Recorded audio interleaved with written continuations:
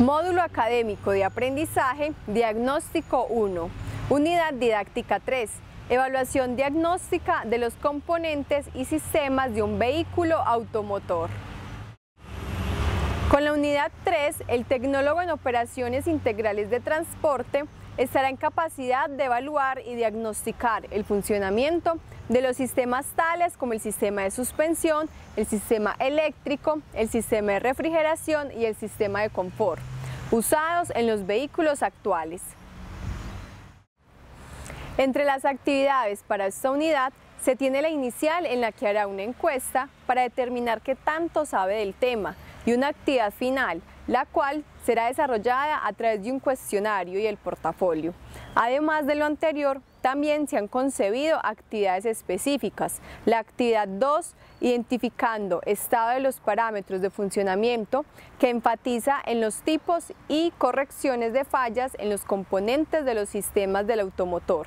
Lo anterior será posible a través del desarrollo de lecturas y videos proporcionados por el profesor, en donde se hará la identificación del estado real del funcionamiento y las posibles correcciones en los automotores de combustión interna, en el sistema de transporte de mercancía de pasajeros.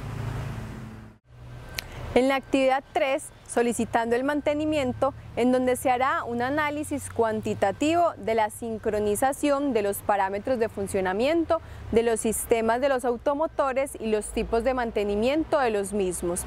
Lo anterior será posible a través del desarrollo de las lecturas y videos sugeridos para su análisis. Las tareas interactivas de aprendizaje formativas y sumativas sugeridas en el módulo proporcionarán las evidencias de aprendizaje esperadas a partir de los criterios de desempeño expuestos, los cuales buscan básicamente determinar según los parámetros de funcionamiento de un automotor y evaluar las fallas para la toma de decisiones en cuanto a cambio o reparación de los componentes de los sistemas de un automotor.